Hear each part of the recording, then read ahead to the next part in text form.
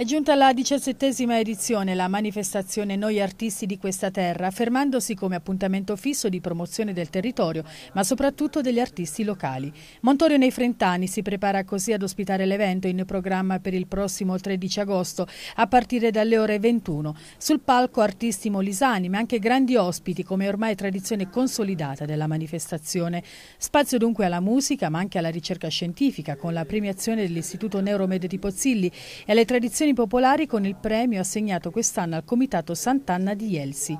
Il sindaco di Montorio, Nino Ponte, sostiene con determinazione l'iniziativa che rappresenta un vero e proprio investimento sulla cultura. Un esempio tangibile di come i piccoli paesi possano promuovere cultura. Anche in un periodo come questo di ristrettezza economiche abbiamo grattato il barile senza altri finanziamenti da parte di provincia, regione e altri, altri enti. Abbiamo fatto affidamento solo a nostre risorse. Ricerca dunque in primo piano con il contributo del Neuromed, centro di eccellenza della sanità molisana. Ringraziamo assolutamente il, il dottor Molino per l'incommiabile riconoscimento, eh, è l'occasione diciamo, anche per poter in un certo senso illustrare e mostrare poi sul territorio quello che è l'impegno quotidiano che l'Istituto effettua. L'anima della manifestazione, Antonio Molino, è infaticabile. Nonostante le difficoltà economiche non molla e va avanti con determinazione ed orgoglio. L'orgoglio di chi ama la propria terra con la quale resta un legame fortissimo. Ogni anno scegliamo insomma, eh, un gruppo di artisti che fanno questa serata che diciamo un po' è conosciuta in tutto il Molise,